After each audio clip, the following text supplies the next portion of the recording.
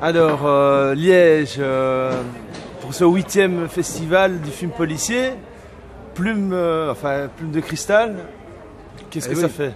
Ouais, Plume de cristal, c'est extrêmement flatteur puisque j'ai appris en arrivant ici qu'il y avait eu une- plus d'une centaine de, de romans policiers, de romans noirs qui étaient arrivés à destination du jury, qu'il y avait ensuite eu, comme on dit, une shortlist, une, sélection euh, parmi cette multitude de romans, de dix romans, euh, parmi lesquels euh, bah, j'ai remarqué qu'il y, avait des- qu'il y avait des noms du polar très connus.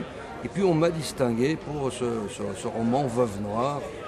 Donc je suis, je suis ravi et je suis d'autant plus ravi que, ça se passe à Liège, ville, ville wallonne où je suis déjà venu pour des, pour des signatures, pour des rencontres, et, euh, et dont est originaire une, amie comédienne dont, euh, tout le monde connaît ici, c'est Marie Gillin que j'ai rencontrée dans un festival de, cinéma où on a sympathisé. Voilà. Donc Liège, c'est c'est à la fois une Belgique euh, qui est loin de chez moi puisque j'habite Lille et qui est toute proche. Donc, je voulais savoir, qu'est-ce que, bah, où on peut retrouver votre livre Il se retrouve partout, bien Ah, sûr. le livre, on peut le trouver partout. On peut le trouver dans Belgique Loisirs qui en a acheté un, un- un- un gros paquet. Et euh, j'en ai d'ailleurs dédicacé une vingtaine tout à l'heure euh, pour, les, pour les, les- les adhérents de Belgique Loisirs. Et puis dans, dans toutes les librairies, je pense que à Bruxelles, Marc Philipson, euh, chez Filigrane, doit avoir ça en, en- en rayon. Le contraire m'étonnerait.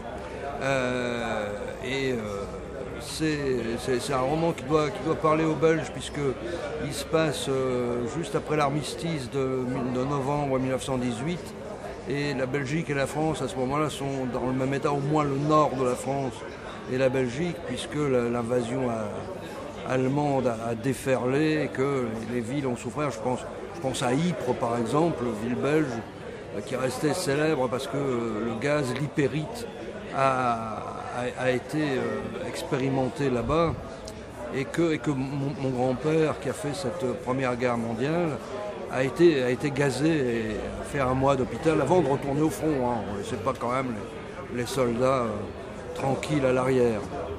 Donc tout ça fait que euh, les choses me semblent bien s'emboîter.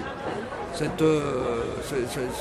petit roman est l'histoire d'une jeune femme qui perd son mari à la guerre sans qu'on le retrouve, il disparaît, les soldats, il disparaît. Elle se retrouve seule, donc sans, argent, sans rien. Et elle tombe amoureuse à ce moment-là d'un soldat démobilisé qui a été blessé et qui, euh, veut se lancer dans le commerce de l'art. C'est l'époque où euh, une nouvelle peinture, je dirais, explose.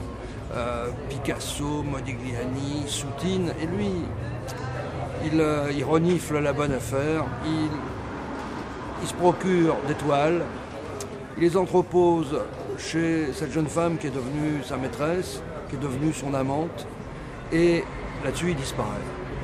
Et elle, qui veut devenir reporter pour gagner sa croûte, et puis parce que ça l'intéresse, parce qu'elle veut, elle veut être une femme libre, eh bien elle part à sa recherche. Voilà l'histoire du livre en quelques mots. Voilà. Merci, on va vous retrouver dans les, dans les bacs alors. Ah oui, Voilà. indiscutablement, dans toutes les bonnes librairies.